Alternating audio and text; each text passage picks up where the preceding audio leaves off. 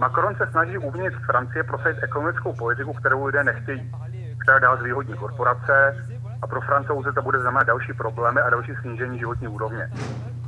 Plánuje zavedení dalekosáhlých kulturních změn, včetně výměny školních osnov, státního financování výstavy mešit a podobně.